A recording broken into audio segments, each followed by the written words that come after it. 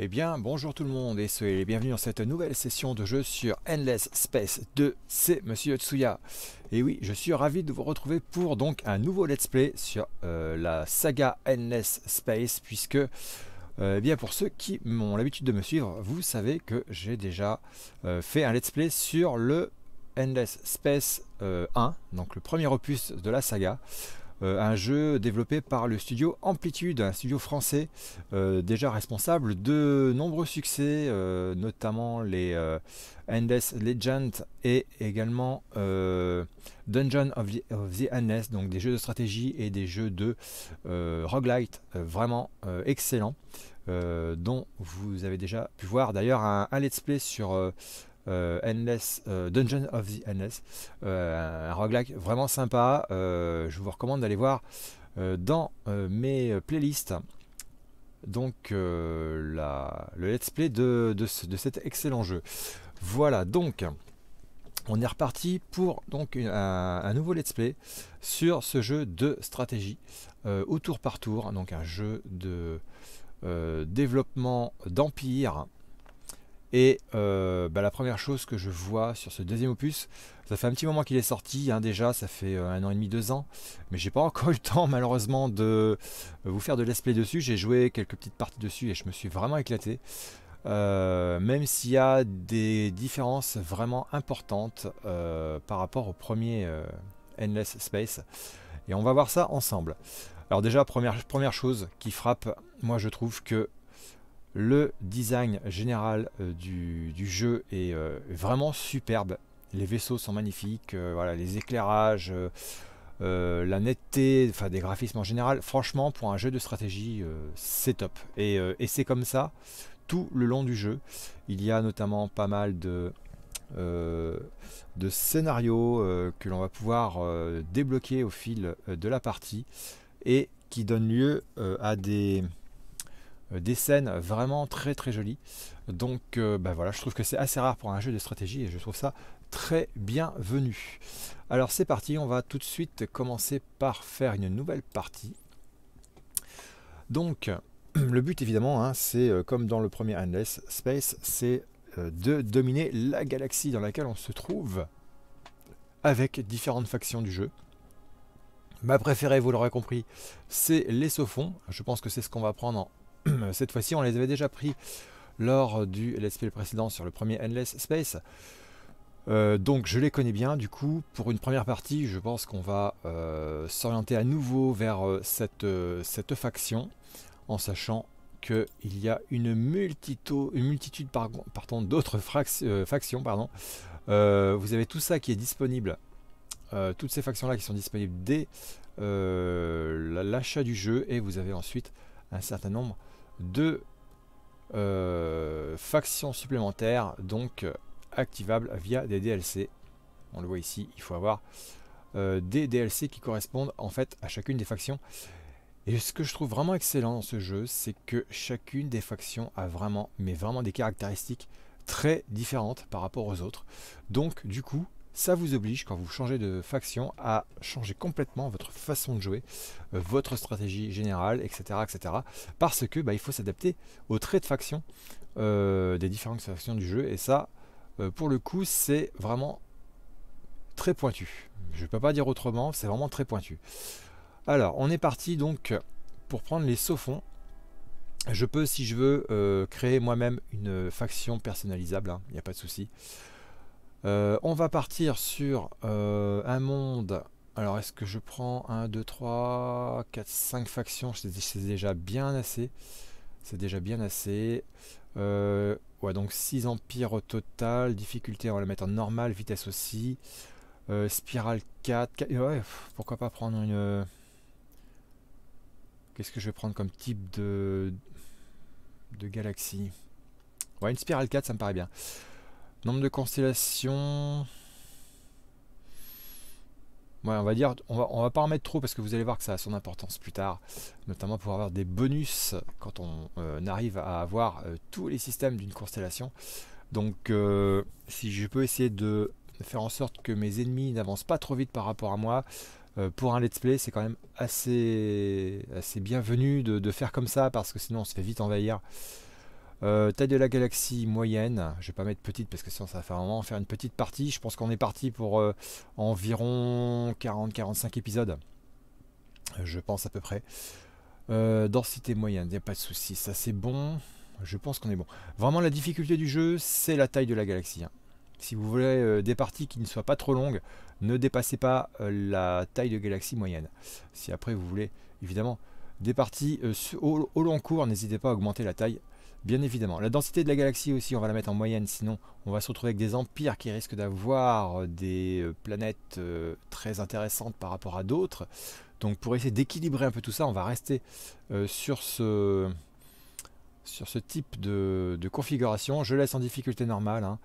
Donc on est aussi fort que les autres factions dès le départ. Après évidemment ça va changer. Mais au moins au départ on est à peu près bien. c'est à peu près bien équilibré. C'est ça qui, la différence en fait quand on choisit une difficulté différente. C'est que euh, eh bien, vous allez avoir des factions qui vont être plus ou moins euh, fortes dès le début. Euh, on va laisser les pirates parce que c'est toujours sympa d'avoir des pirates et puis ça fait de l'expérience quand on se bat contre eux. Donc on est parti, on démarre. Allez. Donc voilà. On est parti pour faire en sorte que la faction des Sophons remporte la bataille. Et euh, bah, je vais vous montrer au fur et à mesure les différences par rapport à la première version de cet excellent jeu de stratégie. Il est très très complet. They have always been first, the Sophons. First to split atoms, mine asteroids, and capture the energy of the sun. First, too, to crash their test rockets, trigger artificial earthquakes, and accidentally blow up their moon.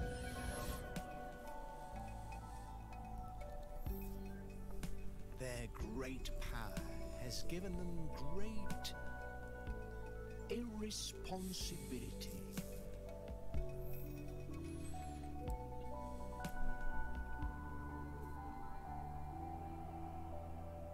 Through it. Now, they're the first to create perfection. Me. Voilà, petite présentation rapide, toujours aussi classe à hein, la cinématique. Voilà. Donc, on incarne un héros, parce qu'il y a une notion de héros dans le jeu. On incarne donc euh, un héros qui va gouverner les Sophons, un dirigeant un peu, avec un peu plus de motivation et d'ambition que la moyenne des chercheurs dans leur laboratoire. Du moins, nous l'espérons. La galaxie est pleine de minerais rares à exploiter, de nouvelles formes de vie à disséquer, et même de civilisations inférieures qui feront de la main-d'œuvre pas trop coûteuse. Qu'attendez-vous? Allez-vous leur faire partager le bonheur de la découverte? Voilà, donc on est parti. Euh, l'interface je la trouve vraiment, vraiment sympa. Euh, vous allez voir au fur et à mesure qu'on va jouer. Euh, je la trouve bien plus sophistiquée que dans le premier. Et euh, bah, c'est pas plus mal. donc on est parti. C'est du tour par tour, hein, donc on a un certain nombre d'actions à réaliser ou pas. et une fois qu'on a décidé de passer le tour, eh bien, on clique ici tout simplement. Et c'est aux autres factions de jouer comme dans n'importe quel jeu de stratégie standard ça ressemble un peu au jeu Stellaris, hein, mais Stellaris n'est pas au tour par tour. Donc là, on a vraiment le temps de se poser, de réfléchir aux actions que l'on va faire, euh, de s'adapter aux, actions des autres factions. Donc, euh, donc moi, j'aime bien ce rythme-là, en général. Allez, on ferme. Et on est parti donc pour le premier tour. Je ne sais pas du tout où est-ce qu'on va atterrir, parce que forcément, on démarre au milieu de la galaxie en tout cas dans un coin de la galaxie. J'ignore complètement ce qui est à côté, on va découvrir tout ça. Votre empire a dorénavant accès à les ressources de luxe suivantes Protosport. Alors, ça c'est un petit bonus de départ, puisqu'on là apparemment on euh, arrive, euh, enfin on est tout simplement sur une planète euh, où il y a ce type de gisement de luxe, mais parfois il n'y a rien, ça dépend. Donc c'est vraiment du hasard. Et là, bah écoutez, on a de la chance. on a des protosports. J'adore les petites vignettes. Regardez à gauche, elles sont super classe en HD et tout. Enfin, vraiment, elles sont magnifiques les vignettes. Et, ça, fait, ça fait courir l'imagination, je trouve, bien plus que dans le, premier opus. Donc les protospores, c'est un gisement de luxe, cette étonnante variété de champignons est peut-être la première forme de vie complexe de l'univers protégé du temps euh, sous forme de spores insensibles au vide glacial de l'espace. Il représente une source de nourriture et d'énergie savoureuse pour les êtres conscients. Et vous voyez que le bonus que ça apporte quand on exploite ces protospores, c'est 15% par niveau du système euh, sur le système dans lequel il se trouve. Alors qu'est-ce que c'est exactement? C'est là c'est 15% de science par niveau. Donc ça apporte en fait des points de science et vous allez voir c'est très important euh, par la suite. Et c'est préféré, on voit que c'est préféré par, alors il y, a, un petit icône en bas à droite euh, de euh, la vignette qui est apparue. ça correspond à une, faction, en fait, un type de population du jeu. Et je vais vous montrer ça plus tard. Voilà, on ferme ça. Qu'est-ce qu'on a d'autre comme nouvelle Ici, c'est les news hein, qui apparaissent au tour par tour, les événements. votre empire a dorénavant accès à la ressource suivante. Eh ben, J'ai encore une deuxième ressource de luxe. Parfait, le Jadonix que je peux utiliser tout de suite, que je peux exploiter tout de suite. Évidemment, plus il y a de monde sur la planète où se trouve le gisement de luxe, et plus on a accès en quantité à cette, euh, euh, ressource. Donc, euh, encore une fois, la magnifique vignette.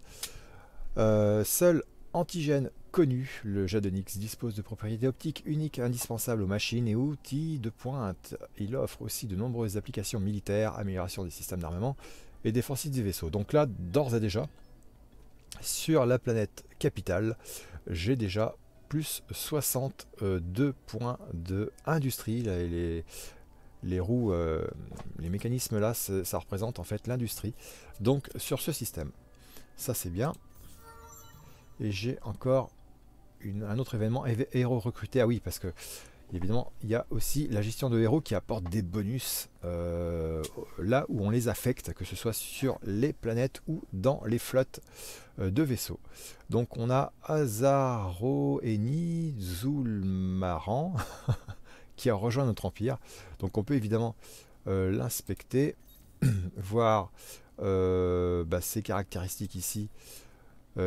Voilà, avec ses compétences. Hein. donc au fur et à mesure qu'on va débloquer les compétences et on a deux crans à chaque fois pour les débloquer euh, en fonction des points disponibles que l'on obtient avec évidemment de l'expérience. plus on a d'expérience, plus on a de points disponibles et on peut les dépenser là-dedans.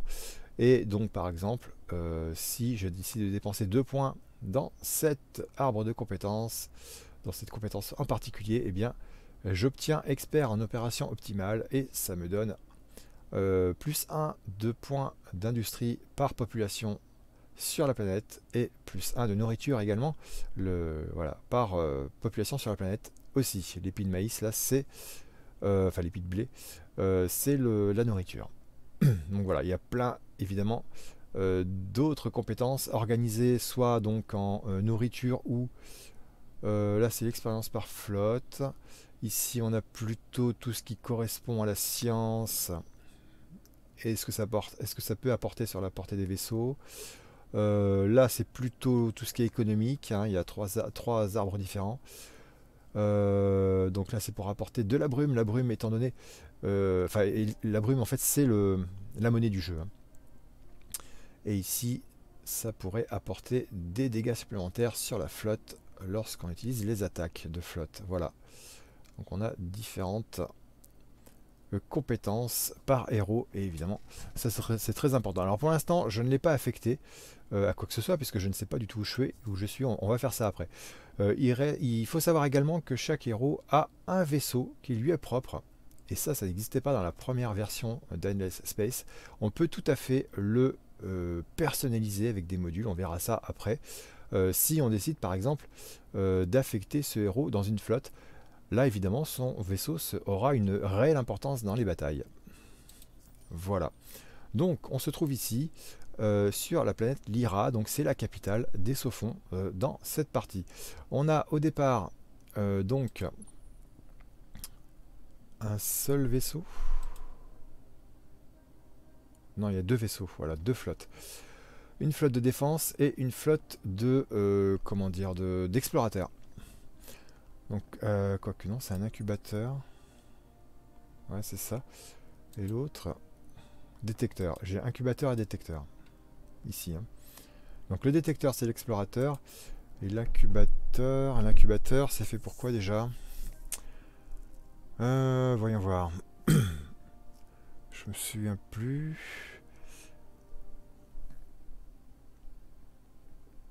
Normalement, euh, faudra que j'aille voir ça dans les, euh, dans les, euh, comment, dans les créations de vaisseaux.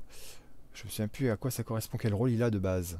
Mais c'est un colon, mais si c'est un colon. Donc en fait, il a, il a une population pour aller donc coloniser d'autres planètes dans la galaxie voire éventuellement, voilà, sur le système de Lyra, aller coloniser notre planète si on a évidemment euh, les euh, conditions qu'il faut pour euh, coloniser ces planètes. Pour l'instant, les autres planètes du système Lyra sont inhospitalières. Il va falloir débloquer les, les compétences pour ça, pour y arriver, les, les technologies, voilà, pour pouvoir donc créer des colonies sur ces planètes.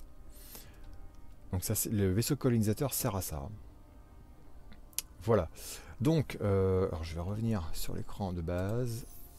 Voilà. Juste pour voir comme ça, d'une manière générale, quelles sont les ressources qui sont présentes sur chacune des euh, planètes de ce système.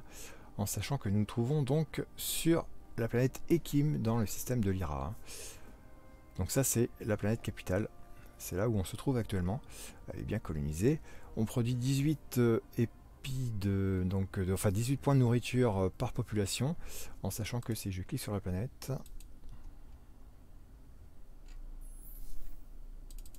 comment je fais déjà? Voilà, comme ça. Si je clique sur la planète, on voit les points de population qui sont ici en fait. Et donc j'en ai trois exactement, de deux types différentes, des saufonds, mais également des pèlerins qui sont en fait des, euh, euh, des populations de saufonds, mais avec des très particulier. Euh, vous voyez les effets en dessous, donc on a 3 euh, ici points euh, de science par anomalie découverte pour ce type de population, mais on a d'autres voilà, populations de base qui ont par exemple eux des effets de points de science sur les planètes froides. Donc évidemment, bah, il faut essayer de répartir ces populations de manière à ce que on obtienne un maximum d'efficacité par rapport aux caractéristiques des différentes planètes. Là, en l'occurrence, nous sommes sur une planète froide. La planète capitale est une planète froide, donc évidemment, c'est ce type de, population qui euh, seront les plus efficaces sur cette planète. Euh, plus tard, on pourra essayer de créer des, transports de planète en planète pour pouvoir eh bien, transporter ces populations vers des lieux plus appropriés à à leur trait, tout simplement. Voilà pour récupérer évidemment encore une fois un maximum de bonus. Euh, là on a les caractéristiques donc, globales de la planète, euh, à savoir que euh, celle-ci est bien disposée pour produire évidemment de la nourriture. on a 9 points de science sur cette planète, 9 points de brume ici, 25 points de science. Alors ça aussi ça peut être très intéressant puisque en général avec la faction des Sophons, eh on se dirige plus vers une victoire de type scientifique en tout cas, c'est le but, donc c'est sans aucun doute celle que je vais essayer de viser. Euh, en tout cas, euh, bah, je vais vous montrer ça après, mais on peut effectivement euh, s'orienter vers différents types de victoires et selon la faction que l'on possède, c'est plus ou moins facile. Donc il faut bien connaître les traits de faction de sa propre faction pour pouvoir choisir le bon type de victoire. C'est un peu comme dans le premier opus d'ailleurs, hein. il n'y a pas de souci à ce niveau-là, c'est à peu près la même chose. Euh, donc pareil, on a les mêmes types de caractéristiques pour les autres planètes de ce système et ce sera le cas pour chacun des autres des, systèmes évidemment que l'on va découvrir. Ici, la nouveauté, c'est euh, les points d'influence euh, qui sont donc des, points attribués pour la gestion politique de l'Empire. Donc ça, ça va se passer ici. Ça, c'est aussi complètement nouveau par rapport au premier opus. On a vraiment des caractéristiques politiques à prendre en compte lorsque l'on euh, fait ces, actions, puisque chacune des actions euh, donc euh, prises au cours de la partie, eh bien, auront une influence sur la représentation du Sénat. Donc, eh bien, vous allez voir que les actions que l'on peut prendre vont comment dire, influencer le pouvoir de telle ou telle partie dans la composition du Sénat. Donc ça peut devenir très complexe si on veut, si on ne prend pas la bonne décision, la bonne action. Ça peut avoir des conséquences assez importantes. En sachant que là, pour commencer, euh, cette euh, euh, faction des Sophons possède une démocratie, mais ça peut très bien changer au cours de la partie si jamais, bah, un, il y a besoin, et deux, si il y a des partis, donc, on va dire, qui sont différents de ceux de base, qui pourraient prendre le pouvoir. À ce moment-là, ça pourrait changer le type de, de représentation de la composition du Sénat. Et évidemment, euh, ces euh, actions politiques que l'on peut mener en plus des actions standards euh, sont régies par les points de donc ces fameux points là ici d'influence. Et plus on en a, évidemment, plus on pourra voter des lois, etc. Des lois qui auront, comme vous vous en doutez, des effets bah, plus ou moins importants et plus ou moins bénéfiques en général, une loi n'a pas. Euh, rares sont les lois qui auront euh, des effets euh, que bénéfiques.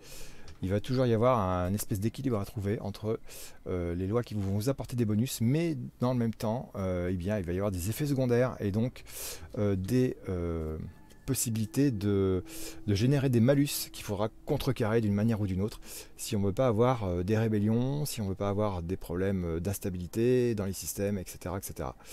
Donc tout ça, c'est vraiment euh, très bien pensé dans, ce second opus, franchement. Il euh, y a vraiment de quoi euh, se torturer les ménages pour trouver l'équilibre et continuer de progresser, de faire progresser son empire. Voilà. Donc je vais revenir sur l'écran de base. Voilà. Hop. Donc première chose à faire, c'est prendre une décision ici. Bah, donc les actions, les actions qui vont être lancer sur le système dans lequel on se trouve. C'est ce qu'on va faire tout de suite. Voilà, ça se passe ici. Pour l'instant, on n'a que euh, ces actions-là de disponibles, mais au fur et à mesure de la partie, on va en débloquer d'autres. Tout cela se fera via euh, l'écran technologique ici.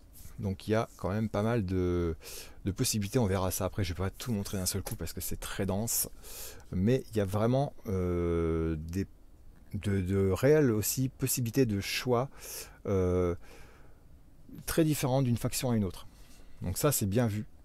Euh, en, général on démarre à peu près tous avec les mêmes euh, actions de base puisque elles sont à peu près communes à toutes les factions, mais vous allez voir qu'au fur et à mesure de la partie, eh bien, on a des choix vraiment différents, ou en tout cas qui vont s'orienter différemment ou, apparaître différemment au fur et à mesure de la partie. Donc on n'aura pas forcément les mêmes actions tous en même temps. Et ça aussi, c'est vraiment euh, très bien étudié. Donc là, j'ai le choix entre euh, faire des actions qui vont avoir des effets, on le voit ici. Euh, donc là, en l'occurrence, par exemple, la réalité cérébrale qui, permet d'avoir des effets d'ajout de, 15 points de science et 15 points de brume par tour. on, a ici les repères de ce qu'on a déjà, en l'occurrence la brume. Pour l'instant, on a 100 points de brume à raison de 20 par tour. Évidemment, si je, si je lance cette action, eh bien, euh, j'aurai 15 points de brume en plus par tour. Donc, euh, on passera à 35 euh, au lieu de 20 ici, tout simplement. Mais vous en doutez bien, on a un coût, tout ça, ça a un coût. Donc il faut avoir ce qu'il faut en points de science dans l'Empire pour pouvoir réaliser cette action. En l'occurrence, là, on a besoin de 160. Et euh, ces points sont répartis sur 5 tours. Il nous faudra 5 tours pour réaliser euh, donc euh, complètement cette action. Donc on peut la lancer maintenant, mais elle ne sera active que dans 5 tours. Et évidemment à condition qu'il n'y ait pas un événement qui vienne bouleverser la construction de cette action et qui rallonge la durée du coût de la construction de l'action. Donc là en l'occurrence, j'ai le choix entre ces trois déjà de base. Euh,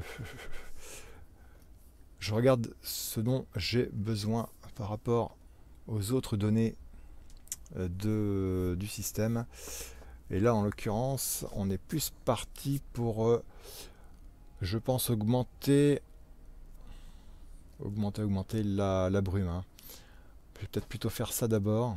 Là, c'est plutôt pour augmenter la nourriture et là, euh, comment, les points de, production.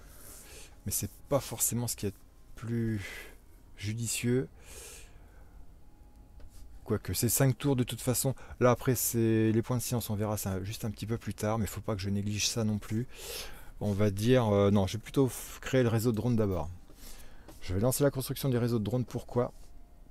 Parce que, eh bien, je vais augmenter ma production de 10 points. Et la production, évidemment, plus on en a, et moins on mettra de temps à produire les actions sont indiquées euh, ici. Donc, euh, donc ça peut faire la différence, euh, surtout si on se trouve à côté d'une autre faction qui peut avoir une, des attentions belliqueuses très rapidement. Donc plus on a d'industrie et plus on peut construire des flottes importantes et donc se défendre. Et ça peut arriver assez rapidement. Donc il faut se méfier de ça. Voilà, donc là aussi, toujours les petits jeux de vignettes très sympas. Franchement, le design est vraiment classe. Hein. Voilà, donc on est parti pour euh, donc faire cette action. Euh, je vais aller voir tout de suite. Euh, donc la politique, on va la laisser comme ça pour l'instant. Je vais juste aller voir quand même au niveau justement des lois auxquelles j'ai accès. Vous voyez, alors si je reviens juste en arrière, on a pour l'instant trois emplacements de lois disponibles. Ça veut dire qu'on peut activer trois lois en même temps. On peut en débloquer jusqu'à 6. Euh, ça, ces emplacements vont se débloquer au fur et à mesure de l'expérience que l'on va accumuler. Euh, en sachant également que quand on lance une loi, eh bien, en général, elle a un coût en point d'influence à chaque tour. Donc c'est important de vérifier que euh, bah, les lois que vous, que vous votez au Sénat ne vont pas vous mettre en difficulté si vous vous retrouvez avec des points d'influence négatifs parce que euh, ça va avoir une, euh, sacrée importance euh, par rapport aux yeux des autres factions. Donc c'est très important. donc on a là en premier lieu la loi qui est votée par défaut, qui s'appelle Oracle de la science. Et on peut donc... Qu'est-ce que ça va nous donner? Voilà, ça permet de rechercher des technologies du prochain palier technologique. Donc évidemment, comme on est une faction type scientifique, c'est très important puisque ça permet d'avoir accès rapidement à euh, l'arbre des technologies, euh, comment dire, aux, recherches euh, supérieures de l'arbre de technologie plus rapidement. Je vous montrerai après ce que c'est, ça se passe ici. on a donc dans les lois qui sont actuellement disponibles. Là aussi, il y en a d'autres qui vont être disponibles, mais ça se passera au fur et à mesure de la partie en fonction de l'expérience également que l'on va accumuler. Donc là, j'ai trois autres lois votables. Celle qui, par exemple, euh, va permettre de créer des super taxes. Donc là, évidemment, c'est fait pour générer plus de brume par population sur chacune des planètes, mais en contrepartie, on voit bien que on va avoir moins 20. Alors ça correspond à quoi en type de points? Eh bien ce sont des points de, bonheur tout simplement. Donc ça va euh, créer une, un déficit euh, probablement donc de satisfaction de la population et euh, bah, ça, peut, ça peut engendrer euh, des guerres civiles, ce genre de choses. Donc on essaie d'éviter ça. Donc là, en l'occurrence, en début de partie, il vaut mieux éviter, parce que même si euh, la population, en général, en début de partie, a une satisfaction assez élevée, ça peut très vite baisser. Donc là, pour l'instant, j'ai pas besoin tant que ça de, brume, donc on va éviter cette loi. celle du page de c'est un peu la même chose, que c'est un petit peu moins violent quand même. Euh, ça permet d'augmenter la science, mais vous voyez qu'on a moins de points euh, de bonheur par population. Et ensuite, nous avons euh, donc cette troisième loi qui bah, elle c'est l'inverse. Voilà. Ça, cette loi peut être vraiment votée si on a, si on peut, si on veut voter la première loi par exemple. Ça nous fait moins 20 par système au niveau de la satisfaction, mais cette loi fait l'inverse. Elle ajoute plus 20 en satisfaction par système. Par contre, la contrepartie, c'est que ça fait baisser le, euh, les points d'industrie. Donc, euh, donc pour l'instant, j'ai envie de dire que j'ai pas envie de prendre hum, quelques lois que ce soit. Euh, parce que j'ai pas vraiment de, problème pour, pour, pour l'instant, tout simplement. Vous voyez ici, quand il y a un petit cercle comme ça avec un point à l'intérieur, ça veut dire que ce sont des lois qui n'ont pas de coût, que ce soit en influence, il n'y a pas d'entretien, mais également ça n'a pas d'influence sur le, sur les parties qui sont au Sénat, ce qui n'est pas le cas des autres lois ici, qui sont encore grisées pour l'instant, je n'y ai pas accès, et vous comprenez bien pourquoi, parce que j'ai 0 points pour l'instant d'influence, et que, par exemple, cette loi-ci me demande au moins un point par population, donc ça peut très vite grimper, ça peut vraiment très vite grimper en point d'influence, l'entretien de ces lois. et ça permet de diminuer les coûts sur, en industrie sur les systèmes, donc ça peut être très intéressant aussi pour euh, diminuer le nombre de tours des actions que l'on est en train de mettre en place, par exemple. Encore une fois, je vous l'ai dit, c'est très dense. Hein. C'est vraiment très dense, euh, mais, vous allez voir qu'au fil de la partie, ça, devient très logique. Euh, et aussi, voilà, ça favorise le parti scientiste, donc le parti que l'on a actuellement. Euh, le parti des Sophons, hein, tout simplement. Mais vous voyez qu'il y a des Sophons, qui ont euh, donc euh, des tendances religieuses. Et si je prends cette loi, si j'applique cette loi, eh bien, je vais favoriser pour les prochaines élections ce parti-là. Donc ça peut avoir vraiment une importance parce qu'au bout d'un moment, si je ne fais pas attention à ça, eh bien, un parti plus favorisé qu'un autre peut prendre le pouvoir et donc détrôner celui qui est actuellement en place et euh, qui nous donne donc euh, les bonus adéquats par rapport aux traits de faction de, notre propre faction. Donc il faut vraiment faire attention à tout ça et c'est en ça que bah, c'est une nouveauté hein, par rapport euh, au premier opus et c'est vraiment très intéressant. Il y a beaucoup d'implications. il faut vraiment faire attention à tout ce qu'on fait. pour l'instant je laisse comme ça. il y a donc des élections tous les 20 tours je crois si je me souviens bien. Donc dans 20 tours, eh bien, euh, cette configuration du Sénat, cette composition du, Sénat peut très bien changer. Euh, là, en l'occurrence, il y a deux parties pour l'instant. Vous allez voir qu'il y en a d'autres qui vont pouvoir arriver au fil de la partie, mais cette fois, euh, pour commencer, on n'a que deux partis, dont le parti scientiste, qui est le parti majoritaire des Sophons. Voilà. Ok, donc ici, je vais laisser donc ça comme ça. Je vais aller voir l'arbre des technologies. Là aussi, euh, on n'est pas trop dépaysé par rapport à l'ancien premier opus parce que ça représente à peu près la même chose que ce qu'on avait avant, euh, sauf que c'est divisé de manière légèrement différente.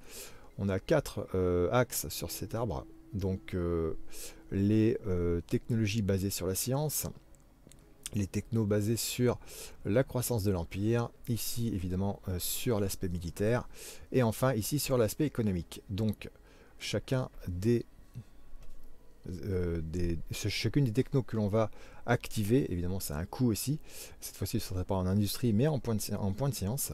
Donc plus on a de points de science et plus on pourra les dépenser dans ces euh, points, euh, dans ces technologies pour avoir accès à d'autres actions. Encore une fois, toutes ces technologies, hop, si je reviens ici, vont avoir, vont, permettre de débloquer ici des actions supplémentaires ou carrément des bonus. Euh, voilà, donc à bien étudier, on peut zoomer dessus hein, bien évidemment. Voilà, par exemple dans le département sciences et exploration, on a pour l'instant les mousses terres rares et euh, la xénobiologie et on voit les différents euh, donc bonus que ça génère. Là en l'occurrence beaucoup de points de science. Donc ça va être sans doute dans cette partie-là qu'on va en dépenser le plus, mais il faudra surtout pas négliger le militaire et aussi les deux autres axes de toute façon. Donc là pour l'instant on a aucune recherche en cours. On va évidemment en choisir une. Euh, j'ai déjà deux euh, donc euh, techno scientifiques débloqués. Je vais peut-être plutôt commencer par le militaire, tout simplement pour pas perdre de temps et se retrouver vite en difficulté par rapport aux autres factions. parce que en général, les factions adverses ont tendance à prendre assez rapidement des points dans la partie militaire et donc avoir des flottes plus puissantes que les vôtres. Donc ça peut vite être problématique. Euh, alors après, j'ai pas parlé encore du, de la partie euh, comment voilà diplomatique de Endless Space 2, mais très franchement, cette partie-là est aussi très intéressante. Il y a eu des ajouts vraiment très bienvenus par rapport à, à l'autre version et on peut très bien euh, comment dire, obtenir des victoires même si on est une faction militairement faible par rapport aux autres. Donc ça aussi c'est une nouveauté. Euh, on n'est pas obligé d'avoir une faction euh, absolument orientée vers le militaire. On peut très bien avoir une faction économiquement forte et finalement obtenir plus de points de victoire que celle qui aurait des, une nation vraiment orientée sur le militaire. Donc ça c'est important. Mais je vais quand même pas négliger cet aspect-là. Donc on va passer là j'ai deux choix différents. Alors là, vous voyez que j'accède tout de suite à la deuxième section, le deuxième cercle de l'arc de, compétences. Ça c'est lié à la loi euh, qui a été votée au Sénat et qui permet d'avoir accès à une couche, la couche supérieure de l'arbre de technologie, ce qui n'était pas le cas euh, ce qui n'est pas le cas pour les autres factions. On commence en général avec le premier cercle et c'est tout. Il faut débloquer au moins euh, deux euh, technos dans le, premier, le, premier, cercle de l'arbre de technologie pour pouvoir accéder au suivant. Ce qui n'est pas le cas avec les, les, On a un petit, une petite avance par rapport à ça. Donc là, je peux aller chercher toutes celles-ci également. donc, je vais bien regarder. Là, ça débloque des modules. On va aller voir après comment équiper les vaisseaux, etc. etc. mais pour l'instant on n'en est pas là. Euh, les bunkers renforcés, ok. Programme de travail à la chaîne, ok. Donc on voit tous les effets que ça génère, évidemment. Euh, oui, alors là, par exemple, cette euh, technologie permet de convertir un point de population en main d'œuvre. Et ça, c'est très important parce qu'il y a une nouvelle notion également dans le côté militaire, c'est que Maintenant, il faut équiper les vaisseaux en main d'œuvre si on veut les piloter, si on veut les, faire, euh, les faire bouger tout simplement. Donc, euh, et aussi pour euh, éventuellement envahir des, planètes adverses. Donc, donc cet aspect-là peut être très intéressant. Vous allez voir que ça aussi c'est une nouveauté et c'est aussi très bienvenu. Ça apporte une dimension supplémentaire à l'aspect militaire. vraiment très intéressante. Euh, ici, usine d'isotope, ça permet de débloquer des modules de soutien pour les vaisseaux, modules également. Euh, là, les troupes au sol, oui, parce que maintenant il y a des combats au sol également. Euh, là, ça, c'est les points de commandement, donc ça peut aussi augmenter le nombre de vaisseaux qu'on peut mettre par flotte, ça sert à ça. Ici, ça augmente les dégâts, tout simplement, des vaisseaux, avec donc l'éclat de titane. Qu'est-ce que je vais commencer par faire? Ça, augmente aussi l'expérience des vaisseaux et évidemment des héros qu'on affecte au vaisseau. Euh, je vais plutôt convertir tout de suite euh, la population en manœuvre. Ça va être très utile rapidement. Je vais commencer par ça. Donc là pour l'instant je mets qu'une seule euh, techno à la fois. Vous voyez que ça va prendre 4 tours pour le faire. Évidemment, encore une fois, plus on a de points de science par tour et plus on pourra diminuer le nombre de tours sur chacune des technos. En sachant que pour l'instant, les premières technos du premier cercle sont les moins coûteuses. Plus on va aller euh, à l'extérieur du... Enfin, plus on va s'éloigner du centre de cet arbre de technologie et plus les technos vont être coûteuses. Voilà, donc on va commencer par ça. Euh, qu'est-ce que je vais faire d'autre? Bon, là pour l'instant, ici en système, évidemment, on n'en a qu'un. On peut automatiser hein, tout ça comme dans le premier également, tout ce qui est politique, euh, construction, etc., etc. Mais je préfère le faire à la main. C'est, euh, on a plus euh, comment la sensation de maîtriser les choses. oui, la chose que je vais faire aussi, c'est attribuer tout de suite le héros qui a été débloqué sur la planète capitale pour bah, faire en sorte que cette planète se développe rapidement et qu'on puisse avoir beaucoup plus de choix par la suite. Alors, il nous faut... Euh, je regarde un petit peu ses traits. Donc c'est un sénateur, évidemment. Euh, conseiller et scientiste. Donc, il a beaucoup plus de compétences d'administrateur, on va dire, que euh, de d'amiral de flotte, par exemple. Donc on va plutôt le laisser au sol, celui-ci. Donc je vais le valider. Ah oui, par contre, il faut que je euh, non, c'est pas comme ça qu'il faut que je fasse. Il faut que j'aille ici. Voilà, gestion des héros. Je, vais l'affecter à un système et pas à une flotte. Voilà. Normalement, je le mets ici. Je valide. Voilà, il est bien affecté à, euh, donc, au système IRA. Donc, c'est parfait.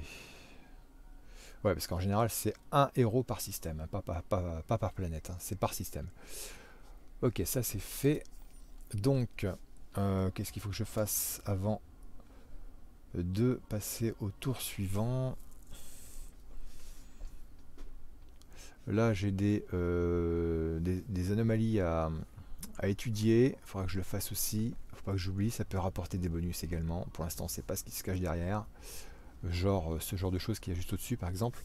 Là, on voit sur cette planète un volcan de qui donne 4 points d'industrie par population si on arrive à coloniser cette planète. Euh, et puis, ça peut donner également des bonus, comment dire, bien plus directs. Vous allez voir ça au fur et à mesure. Alors, euh, qu'est-ce qu'il me reste à faire? Oui, le déplacement euh, de mes flottes actuelles. Pour l'instant, donc j'ai dit que j'avais que deux vaisseaux. On va tout de suite euh, lancer le détecteur. Alors je dézoome juste pour voir un petit peu où je me trouve dans la galaxie. Donc l'idéal serait peut-être plus que j'aille par là. En sachant qu'il y a probablement un empire qui traîne dans le coin. alors ici, ce que vous voyez ici, voilà. Là, ce sont les euh, constellations. Pour l'instant, on ne les voit pas parce qu'il n'y a, que trois systèmes euh, visibles. Mais si j'arrive à avoir toutes les étoiles d'une même constellation, eh bien, ça donne un bonus supplémentaire en nourriture, en l'occurrence, sur, ce, cette constellation. Et il y en a bien évidemment plein d'autres euh, tout autour dans la galaxie. Donc, depuis, depuis, depuis cette euh, ce détecteur, on va l'envoyer. Qu'est-ce que je fais? Je l'envoie devant ou bien je, vais chercher par là? Je vais plutôt l'envoyer devant. Allez, euh, il va aller faire le l'éclaireur.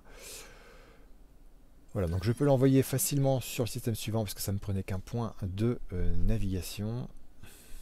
Et on a découvert donc dans le système suivant une nouvelle civilisation mineure. Alors ça aussi c'est une nouveauté et c'est aussi très bienvenu puisque ça permet d'avoir des traits de faction supplémentaires pour la faction fond si on arrive à les assimiler. Mais attention, les factions adverses peuvent essayer de faire de même. Donc euh, si on n'est pas le premier à assimiler cette, euh, cette sous-faction, eh bien on n'aura pas accès à ces traits. Et en général, pour les assimiler, ça peut coûter très cher. Donc euh, et là aussi, c'est très intéressant parce qu'on peut avoir accès à des, des scénarios qui vont se débloquer. Ils vont nous filer des quêtes pour essayer d'arriver à, les amadouer, à, les assimiler. Donc ça peut être assez marrant euh, de voir ça. Donc on va tout de suite évidemment débuter les négociations pour se mettre bien avec eux. Donc ce sont des Calgueros, ils sont pragmatiques, etc. etc. Voilà, et on a les traits de faction qui apparaissent, enfin les effets en fait. Euh, si on arrive à les assimiler, ce sont des effets de satisfaction que l'on pourra augmenter sur les populations de notre empire. Donc c'est pas négligeable. Euh, attention par contre, ils ont tendance à...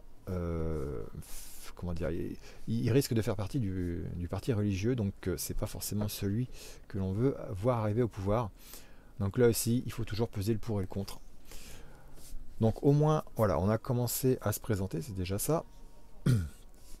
voilà, ici on a tout un, tas de renseignements sur cette population mineure. Hein etc., euh, etc.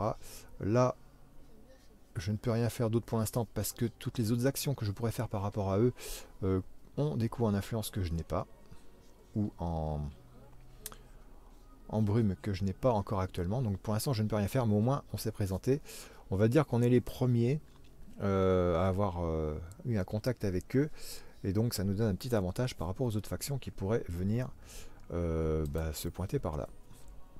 Donc on va afficher le lieu, voilà.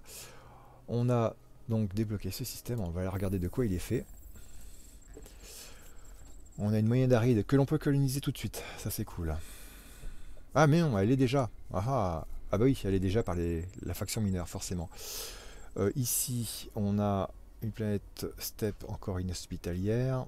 Je rappelle que les euh, sont plutôt euh, bien sur des planètes gelées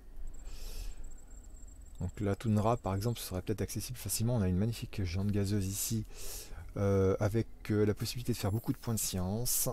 Donc c'est très intéressant. Système très intéressant, ça vaudrait peut-être le coup de, le coloniser. En tout cas il est proche euh, de l'autre du système de départ. Donc là encore une fois, comme sur le premier opus, les cercles d'influence sont très importants ici, en, figuré ici en bleu. Donc plus on obtient une influence forte et moins euh, les euh, factions adverses arrivent à pénétrer le territoire ou en tout cas à faire des actions à l'intérieur. Donc c'est important, de, c'est une première barrière de protection, on va dire, en plus des, des flottes de vaisseaux que l'on peut créer. Voilà, donc c'est très bien. J'ai encore combien de points de mouvement ici C'est où déjà les points de mouvement? Si, si. J'en ai encore deux. Euh, non, ça c'est la flotte. J'en ai encore, oui, bah c'est bon, j'en ai encore un. Donc je pourrais éventuellement pousser l'exploration encore plus loin. Euh, pourquoi pas par là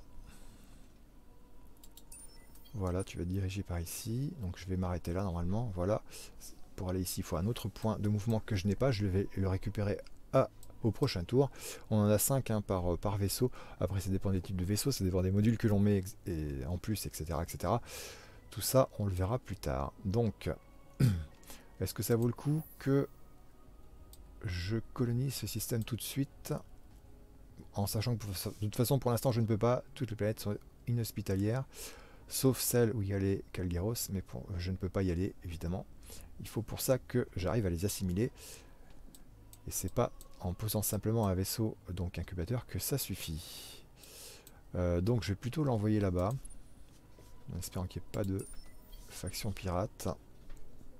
Je prends un risque en l'envoyant là-bas, mais il euh, ne faut pas que je perde trop de temps au niveau des tours. Donc voilà, on passe ce système pour l'instant, on va aller voir ce qu'il y a là-bas. Et puis, euh, ainsi de suite. Donc on découvre à peu près euh, la, vision aussi des flottes peut être augmentée hein, pour essayer de voir un petit peu plus loin que, le système suivant quand on arrive sur le système précédent, etc. etc.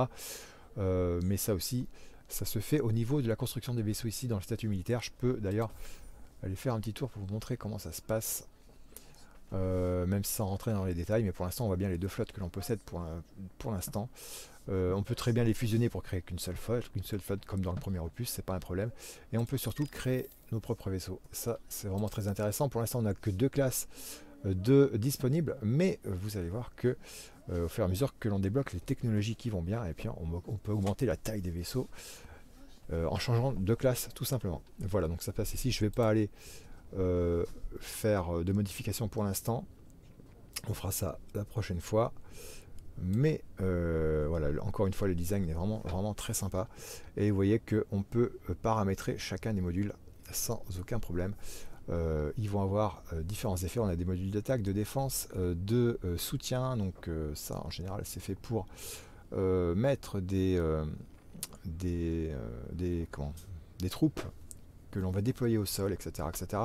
Et on a enfin des modules qui donc concernent l'ensemble de l'escadrille, ainsi de suite. On a ici le statut évidemment du vaisseau actuel les, points de vie, euh, la capacité donc de manœuvre que l'on peut emmener à bord, euh, la vitesse de déplacement, le nombre de points de commandement. Donc ça, ça sert en fait, euh, ça indique en fait la place que ça prend dans l'escadrille. ici, on a les types de, comment, les points de défense soit défense contre les projectiles, soit la défense contre énergie, et puis sa capacité ici d'attaque la capacité de défense ici, capacité d'attaque ici. Les différentes euh, comment dire, euh, capacités de portée de tir ou de défense. Euh, mais on verra ça la prochaine fois. Voilà. Donc j'annule ça. Je quitte complètement. Voilà, je vais pas recréer un autre, une autre flotte pour l'instant. On va se contenter se contenter de ce qu'on a. Bon, donc on va s'arrêter là pour euh, ce premier épisode de ce nouvel let's play sur Endless Space 2. On a fait un petit tour euh, au moins euh, global de tout ce qu'il y avait à voir, en tout cas d'urgent pour les premiers tours. et je serai ravi de vous retrouver donc dans le prochain épisode pour la suite.